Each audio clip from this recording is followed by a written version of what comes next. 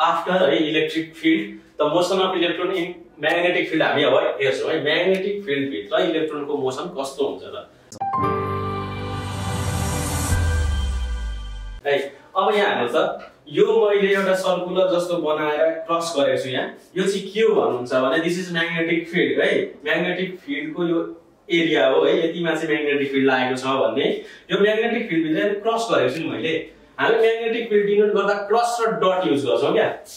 Cross अनि dot यो भनेको कस्तो भने सपोज गर्नु यो एउटा प्लेन छ है यो एउटा व्हाइट बोर्ड के वाइ प्लेन भयो। यो प्लेनमा चाहिँ हामीले म्याग्नेटिक फिल्ड कसरी अप्लाई गरेको छौँ भने पर्पेन्डिकुलर है। यसरी बाहिरतिर आउटवार्ड यो क्रसले के जनाउँछ? आउटवार्ड है यो डटले के जनाउँछ? इनवार्ड हामीले जस्तो सुकै म्याग्नेटिक फिल्ड पनि लिँदा भयो। म्याग्नेटिक फिल्डको डाइरेक्सन यता भित्रपट्टि छ कि म्याग्नेटिक फिल्डको डाइरेक्सन बाहिरपट्टि छ हामीले कस्तो लिएको छौँ भने यो म्याग्नेटिक फिल्डको जुन छ नि म्याग्नेटिक लाइन अफ फोर्सको डाइरेक्सन कस्तो छ? यस्तो छ। यो व्हाइट बोर्डबाट यसरी निस्किँदैछ है? आउटवार्ड यसरी। इनवार्ड भनेको डट लेखिदिने सबै आउटवार्ड भनेको के हुन्छ? म्याग्नेटिक फिल्डको डाइरेक्सन चाहिँ यस्तो छ। हामी उताबाट यसरी म्याग्नेटिक फिल्ड अप्लाई गरिरहेको छौँ है? इलेक्ट्रोन यहाँदेखि यसरी जाँदैछ। है इलेक्ट्रोन यसरी जाँदैछ अनि म्याग्नेटिक फिल्ड चाहिँ कस्तो छ? यस्तो छ। Perpendicular to the motion of electron है? मोसन अफ इलेक्ट्रोन यस्तो भयो म्याग्नेटिक फिल्डको डाइरेक्सन यतातिर आउटवार्ड है? यो प्लेनबाट बाहिर निस्किरहेको छ अब फ्लेमिङ्स लेफ्ट ह्यान्ड रुलले के भन्छ त? फ्लेमिङ लेफ्ट ह्यान्ड रुलले के भन्छ यो लेफ्ट ह्यान्ड भयो फ्लेमिङ लेफ्ट ह्यान्ड रुलले यस्तो भयो। यो भनेको यो भनेको के हो? यतातिर मोसन अफ चार्ज पार्टिकल यो भनेको मोसन अफ चार्ज पार्टिकल हो। यो भनेको के हो? डाइरेक्सन अफ म्याग्नेटिक फिल्ड यो भनेको लोरेन्स फोर्स फोर्स चाहिँ चार्ज पार्टिकलमा कतातिर लाग्छ त? यो भयो म्याग्नेटिक फिल्ड यो भयो डाइरेक्सन अफ चार्ज पार्टिकल यो हो फोर्स है? कता फोर्स लाग्छ? अब हाम्रो म्याग्नेटिक फिल्ड कस्तो छ भने नि यो लेफ्ट ह्यान्ड मिलेन। है किनकि यो हामीले इनवार्ड लियौँ नि त। इनवार्ड म्याग्नेटिक फिल्ड छैन यहाँ। हामीले लिएको त आउटवार्ड हो। म्याग्नेटिक फिल्ड चाहिँ यस्तो छ लु। हेर्नुहोस् है। अब के हो? आउटवार्ड हो नि त। यताबाट यता निस्क्यो। है म्याग्नेटिक फिल्ड आउटवार्ड छ। चार्ज पार्टिकलको डाइरेक्सन यतै छ। हेर्नु त यो motion of electron motion of electron यो फिङ्गरले डिनोट गर्दैछ है। यो फिङ्गरले मोसन अफ इलेक्ट्रोन भयो। यो भनेको direction of magnetic field direction of magnetic field यतातिर बाहिरतिर आउटवार्ड है। अब लोरेन्स फोर्स कता लाग्ने भयो? मुनिपट्टि। इलेक्ट्रोनको केसमा लोरेन्स फोर्स कता लाग्ने हो मुनिपट्टि। यसको मिनिङ के हो भने यो मोसन यसरी डाउनवर्ड डाइरेक्टेड गरेको छु नि मैले हो। यसलाई हामी माथितिर पनि लान सक्थ्यौँ नि तर त्यो पोसिबल छैन। किनकि म्याग्नेटिक फिल्ड हामीले कस्तो लिएको छ आउटवार्डतिर लिएको छ भने मो अनि लोरेन्स फोर्स कतातिर लाग्ने हो मुनितिर लाग्ने भयो क्या। यसरी। लोरेन्स फोर्स चाहिँ मुनितिर लाग्ने भयो। है perpendicular to the motion of electron perpendicularly के हुने भयो? फोर्स एक्ट गर्ने भयो मुनिपट्टि। लोरेन्स फोर्स मुनि लाग्ने भयो। त्यही भएर अब इलेक्ट्रोनको मोमेन्टमको कारणले गर्दा के हुने भयो भन्दा इलेक्ट्रोन छिरो म्याग्नेटिक फिल्डभित्र लोरेन्स फोर्सले मुनितिर धकेल्यो। मुनितिर धकेलेपछि कस्तो भयो? मुनितिर बेन्ड हुने भयो नि त। कता डिफ्लेक्ट हुने भयो इलेक्ट्रोन मुनितिर डिफ्लेक्ट हुने भयो। Due to the Lorentz force है म्याग्नेटिक फिल्डभित्र कुनै पनि चार्ज पार्टिकल छिर्यो भने त्यहाँ के के एक्ट गर्छ? लोरेन्स फोर्स एक्ट गर्छ। लोरेन्स फोर्सको डाइरेक्सन हामी कसरी हेर्छौँ? Using Fleming's left hand rule left hand रुलले के भन्यो भन्नुहुन्छ भने लोरेन्स फोर्स त मुनि लाग्दैछ। हेर्नुहोस् त। लोरेन्स फोर्स कता लाग्दैछ? मुनिपट्टि लाग्दैछ। लोरेन्स फोर्स मुनितिर लाग्यो भने electrons drag down to the downward direction है। इलेक्ट्रोन्सहरू मुनितिर मुभ गर्ने भयो। अब द फोर्स है यो Lorentz force acting upon the electron is F is equal to B E V sine theta this is the formula हामीले म्याग्नेटिक फिल्डमा पढेकै कुरा हो यो है B E V sine theta B E V magnetic फिल्डको direction कस्तो छ perpendicular छ यतातिर पर्पेन्डिकुलर छ पर्पेन्डिकुलर भएपछि के हुने भयो बिइबी साइन नाइन्टी बिइबी हुने भयो साइन नाइन्टीको भेल्यु कति वान है बिइबी हुने भयो फोर्स अब के छ भने नि जब इलेक्ट्रोन्स अथवा चार्ज पार्टिकलहरू म्याग्नेटिक फिल्डभित्र छिर्छ यसको पाथ कस्तो हुन्छ भने सर्कुलर हुन्छ है? सर्कुलर हुन्छ। सर्कुलर एज्युम गर्दाखेरि के हुने भयो भन्दाखेरि यो लोरेन्स फोर्सले त सेन्ट्रिपिटल फोर्स प्रोभाइड गर्ने हो। यो इलेक्ट्रोन चाहिँ सर्कुलर मोसन यहाँ अथवा यहाँनिर के थियो भने म्याग्नेटिक फिल्ड पुरै प्लेन भएको थियो इलेक्ट्रोन यहाँदेखि छिरेको थियो भने इलेक्ट्रोन मुनि जाने भयो अनि सर्कुलर पाथमा यसरी घुमेने र निस्किने भयो क्या? अनि फेरि सर्कुलर पाथमा घुम्ने हो फेरि निस्किने भयो है? यो पुरै थियो भने चाहिँ अब हामीले यहाँनिर एक्जाम्पलमा लिएको चाहिँ के छ भने यति ठाउँमा मात्रै छ म्याग्नेटिक फिल्ड त्यही भएर यहाँ इलेक्ट्रोन निस्के जस्तो देखाइदिएको छ है? तर यहाँ पनि म्याग्नेटिक फिल्ड थियो। अल ओभर दिस प्लेन के थियो? म्याग्नेटिक फिल्ड थियो भने के हुन्थ्यो भने यो इलेक्ट्रोन चाहिँ सर्कुलर पाथमा के गर्थ्यो?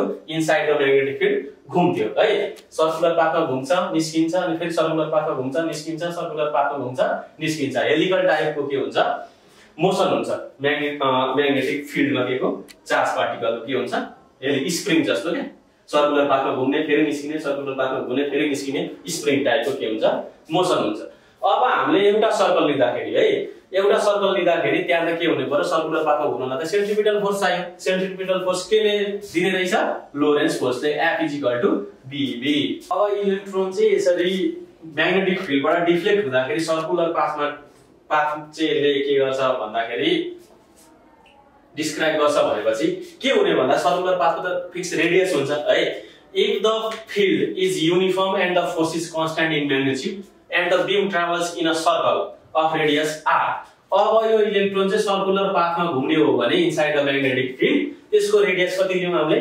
Radius R Therefore, the force BEV, अगाडिको Lorentz force BEV provides the necessary centripetal force and is given by यो अगाडि नै मैले मेन्सन गरिसकेको चिज हो है? के हुन्छ भने लोरेन्स फोर्सले चाहिँ सेन्ट्रिपिटल फोर्स प्रोभाइड गर्छ अरे क्या लोरेन्स फोर्स भनेको कति छ? बिइभी छ। एन्ड द सेन्ट्रिपिटल फोर्स कति हुन्छ? एमभी स्क्वायर बाई कति हुन्छ? आर हुन्छ। भीले भी स्क्वायर क्यान्सल गरौँ यहाँदेखि रेडियस निकाल्यौँ रेडियस भनेको कति हुन्छ? एमभी बाई कति भयो?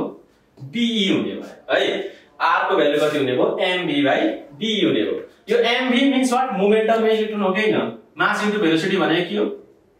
Momentum of electron divided by magnetic field intensity and elementary charge E है? So radius of the circular path radius कति हुने रहेछ? मोमेन्टम डिभाइडेड बाई बी अथवा R is equal to MV by B है? This is the expression for radius of circular path यो radius कति हुँदो रहेछ त? म्याग्नेटिक फिल्डमा डिफ्लेक्ट हुँदाखेरि इलेक्ट्रोन भन्ने भ्याल्यु दिस एक्सप्रेसनले दिन्छ। यो एक्सप्रेसनले दिन्छ है? R is equal to MV by B है? This gives the radius of circular path माथिको एक्सप्रेसनबाट हियर है। BEV is equal to MV square by R छँदैछ है। Lorentz force equal to centripetal force this implies के हुन्छ भने B is equal to भीले स्क्वायर काटेपछि B is equal to MV by R BE is equal to यहाँ हेर्नुहोस् त M is equal to V by R छ क्या? दिस भ्यालु भी बाई आरको भ्यालु हामीले रोटेसनल डाइनामिक्समा पढेको छ के हुन्छ?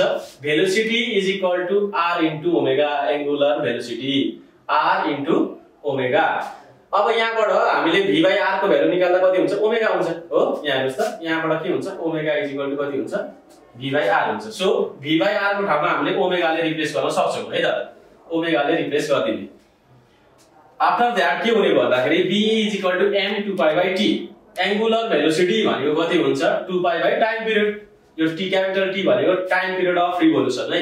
एउटा कम्प्लिट रिभोल्युसन गर्नको लागि कति टाइम लाग्छ? That is the time period है? अब यहाँदेखि टी इज इक्वल टु कति हुने भयो? टु पाई एम माथि छँदैछ डिभाइड बाई बी यो टीको भ्यालु क्यालकुलेट गर्ने time period is equal to two pi M by B हुने भयो। This gives the time period for complete revolution complete revolution एक रिभोल्युसन लाउनको लागि है एउटा कम्प्लिट रिभोल्युसन गर्नको लागि कति टाइम लाग्ने रहेछ? Two pi M by B अब यहाँनिर हेर्नुहोस् त यो रिलेसनमा नि टु छ पाई छ मास अफ इलेक्ट्रोन अथवा मास अफ चार्ज छ है divide by B into E छ। यहाँ के छैन भने भेलोसिटी अफ इलेक्ट्रोन छैन क्या? This is independent of speed of electron ल्याएछ नि यहाँ। यो रिलेसनमा के छैन भने भेलोसिटी मेन्सन गरेको छैन। है? यहाँनिर जतिसुकै भेलोसिटीमा इलेक्ट्रोन भित्र इन्टर म्याग्नेटिक फिल्डमा एउटा कम्प्लिट सर्कल बनाउनको लागि जति टाइम लाग्छ नि time this is this time period जति टाइम लाग्छ नि हो त्यो टाइम चाहिँ यो इलेक्ट्रोनको स्पिडसँग डिपेन्ड गर्दैन। है it only depends upon mass of charge and the magnetic field of light यो म्याग्नेटिक फिल्ड इन्टेन्सिटी यहाँ हेर्नु त बी छ नि। यो बीसँग के हुने भयो? डिपेन्ड गर्ने भयो। क्या? भेलोसिटीसँग डिपेन्ड गर्ने गर्ने भएन। जतिसुकै भेलोसिटीमा भित्र छिरोस् तर टाइम चाहिँ कति लाग्ने रहेछ? त्यति नै लाग्ने रहेछ क्या? जस्तो यो बी कति लिएको छौँ भने हामीले ल मानौँ टु टेस्ला लियौँ है? टु टेस्ला लियौँ बी इज इक्वल टु हाम्रो भेलोसिटी अफ इलेक्ट्रोन भनेको लियौँ हामीले समथिङ ल एउटा लियौँ two point seven into ten to the power seven metre per सेकेन्डमा इलेक्ट्रोन छिरो एउटा। अर्को चोटि के भयो भने velocity two into ten to the power seven metre per सेकेन्डमा छिरो क्या है? एउटा इक्जाम्पल हो सुरुमा यो छ नि two point seven into ten to the power seven metre per second velocity भएको इलेक्ट्रोन म्याग्नेटिक फिल्डभित्र छिरो। भने त्यसको लागि टाइम पिरियड है हाम्रो कन्सटेन्ट छ यो टु टी कन्सटेन्ट लिएको छ है। यो इलेक्ट्रोन पनि टु टी म्याग्नेटिक फिल्डभित्रै छिर्यो यो इलेक्ट्रोन पनि टु टी म्याग्नेटिक फिल्डभित्रै छिर्यो भने एउटा कम्प्लिट रिभोल्युसन गर्नको लागि एउटा कम्प्लिट सर्कल बनाउनको लागि जति टाइम लिन्छ यो इलेक्ट्रोनले त्यति नै टाइम लिन्छ यो इलेक्ट्रोनले पनि।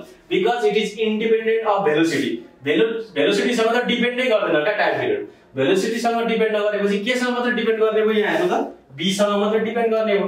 दुईटै इलेक्ट्रोनको लागि बी त सेम लिएको छ टु टेस्ला टु टेस्ला लिएको छ। भनेपछि टाइम पिरियड अफ रिभोल्युसन कति हुने रहेछ? दुईटै इलेक्ट्रोनको लागि सेम हुने रहेछ क्या। And it is independent of velocity velocity जतिसुकै होस् मतलब भएर बट एउटै म्याग्नेटिक फिल्डमा चाहिँ छिरिरहेको छ भने भिन्दा भिन्दै भेलोसिटी भएको इलेक्ट्रोन टाइम पिरियड के हुने भयो? सेम हुने